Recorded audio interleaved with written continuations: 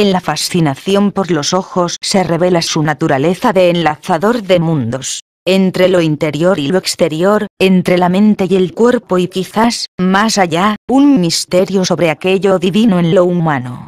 Como si fueran una sustancia interdimensional, los ojos conectan el interior del ser humano con el exterior de tal manera que cuando queremos obtener información furtiva, que se oculta de los meros gestos y del lenguaje hablado y corporal, buscamos la mirada para acceder a lo secreto, a las emociones y al pensamiento más íntimo, como si hubiera información más allá de cualquier falsificación en esa luz que reflejan los ojos. Esto ha llevado a acuñar la popular frase los ojos son la ventana del alma sea por cierta sensación poética de la luz y la simetría de los ojos, que evocan mándalas, flores o estrellas, o por una intuición espiritual, de que los ojos son ya promesa metafísica en el cuerpo. Diversas culturas describen a los ojos como portales de la esencia de una persona, a través de los cuales se revela su ser verdadero.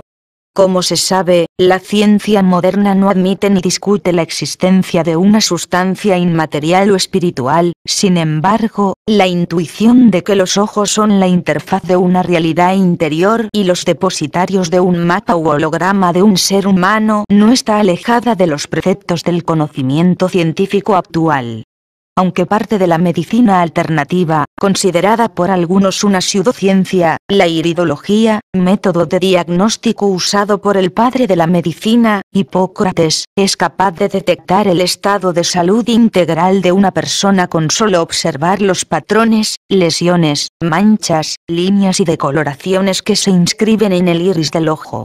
Esto sugiere que en cierta forma el ojo humano es una grabadora holográfica de todo lo que le sucede a una persona y contiene, a manera de fractal, la imagen de todo el cuerpo en una representación simbólica. Por otra parte nos acerca a la concepción popular de que una mirada no miente, o de que viendo a alguien a los ojos podemos verdaderamente conocer a esa persona, en un translumbramiento de su código fuente. Tampoco es casualidad que sean los ojos justamente lo que determina, o nos permite determinar, si una persona está viva o muerta. Un estudio realizado por científicos de la Universidad de Dartmouth mostró que el ser humano se basa en la información que obtiene de los ojos para saber si un ser está vivo o muerto. La gente quiere ver rostros, y tenemos la tendencia de verlos en todos lados en las nubes, en un trozo de pan tostado, incluso en dos puntos y una línea. Y tiene sentido el estar alerta de los rostros. Pero a la vez tampoco queremos perder tiempo con caras que no están vivas, rostros que no están enlazados con una mente, afirmó Christian Luser, autor del estudio. Aquí yace el otro cuid del asunto a explorar. Los ojos son, al menos, la ventana del cerebro la luz, y el mundo exterior, se convierte en percepción, y en imágenes y en imaginación, a través de los ojos y las neuronas de la retina.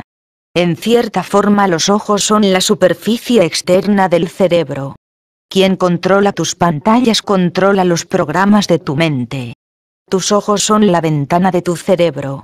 Los ojos son las extensiones del cerebro. Están hechos de cientos de capas de neuronas, bastones y conos. Tus ojos tratan con una energía, la luz. A través de tus ojos llega la visión, la percepción, la iluminación. Para operar tu cerebro debes de saber usar tus ojos. ¿Puedes ver? No puedes ver lo que están haciendo con tus ojos. Quien controla tus ojos controla tu mente, implanta tu cerebro. No puedes ver que los mensajes que hacen contacto con tus ojos en la televisión están creando realidades, implantando mensajes de los patrocinadores que no están muy interesados que digamos en que aprendas a crear tus propias realidades. Los ojos como ventana del cerebro tienen la particularidad de estar casi siempre abiertos a los vientos externos de la influencia mundanal. Es decir, todo lo que vemos lo dejamos entrar, y opera en nuestro cerebro. Si no sabemos operarnos nosotros mismos, nos dice el doctor Timothy Leary, aquellos que controlan las proyecciones que penetran nuestra psique a través de nuestros ojos, reproyectándose en nuestro lienzo psicológico, controlarán y diseñarán lo que seremos. el cerebro está diseñado para diseñar realidades. Si operas tu cerebro con habilidad, puedes aprender a diseñar tus propias realidades, aprender cómo comunicarte en el lenguaje del cerebro. Electrones y fotones. Estamos haciendo esto ahora. Estamos mandando mensajes a nuestro cerebro, usando el vehículo de los electrones y fotones, a tus ojos. Al ver esta pantalla, nuestras mentes se embelesan, se suavizan, nuestra aguda y lineal lógica de pensamiento se vuelve más amable y nos estamos comunicando de cerebro a cerebro. Estamos usando los circuitos de la computadora de electrones para alimentar nuestros cerebros de luz. Los ojos son justo aquello que nos permite percibir la luz. Si estás viendo esta habitación, toda la habitación está envuelta en la luz que entra a tu pupila y se desenvuelve en la imagen y en tu cerebro. La luz en su sentido general es el medio por el cual el universo se desenvuelve en sí mismo. Se puede extrapolar de la teoría de la totalidad y el orden implicado del físico David Bohm que la luz es el holograma del universo, y es a través de ella que se proyecta la eternidad en el tiempo. Recordemos que según la teoría de la relatividad, si pudiéramos convertirnos en solo luz, el tiempo dejaría de existir como una sucesión y todos los instantes serían uno solo. Es una tradición esotérica común a diversas culturas creer que es a través del ojo, la fusión de la dualidad, que se accede a la dimensión espiritual. El llamado tercer ojo o ojo de Dios aparece tanto en la India, el ojo de Shiva, como en Egipto, el ojo de Horus, y en ambas culturas se le representa en la frente junto con una serpiente, presumiblemente el kundalini o fuerza vital que al subir de las zonas energéticas inferiores activa o abre este ojo en su descarga. Paradójicamente el padre del racionalismo, René Descartes, creía que la glándula pineal era el asiento del alma o una especie de válvula que secretaba espíritus. Curiosamente esta glándula tiene los vestigios de una retina y transforma la información lumínica en hormonas.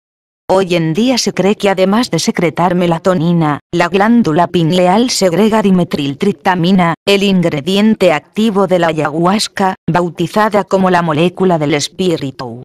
Esto ha llevado a algunas personas a ver a la glándula pineal con una especie de micropuerta estelar y a explicar su función como un detector de la divinidad en el cerebro, en palabras de Dennis McKenna. El escritor y pintor visionario William Blake escribió crípticamente en un legendario poema, Nos quieren hacer creer en una mentira cuando no vemos a través del ojo. ¿Acaso haciendo referencia a que el mundo que vemos es una ilusión, como el filósofo en la cueva de Platón, hasta que no refinamos nuestra percepción y abrimos el ojo espiritual, a través del cual podemos percibir la obra divina y no solo su sombra? Se especula que los conocimientos para abrir el tercer ojo han sido guardados celosamente por las religiones y sociedades secretas a lo largo del tiempo, asegurándose así el poder sobre las masas ciegas. El nombre de la glándula pineal viene de su forma similar a la del cono de un pino. A lo largo de la historia el arte sacro ha reproducido el símbolo del cono de pino, desde el paganismo al cristianismo, haciendo aparición en el bastón de mando, o caduceo ADN, tanto de dioses egipcios como del Papa, y de manera conspicua en una escultura gigante en la plaza de San Pedro en el Vaticano. Se dice también que el símbolo del ojo en la pirámide que la masonería logró estampar en el sello de Estados Unidos y en el reverso del billete de un dólar, y que hoy en día es asociado con la fantamagórica sociedad de los Illuminati, es un símbolo del tercer ojo activado, abierto al mundo espiritual invisible para aquellos no iniciados. Esta misma versión sostiene que existe una conspiración para impedir el desarrollo espiritual de las masas, puntualmente calcificando la glándula pineal de la población a través de la comida y el agua, se sabe que el flúor calcifica esta glándula.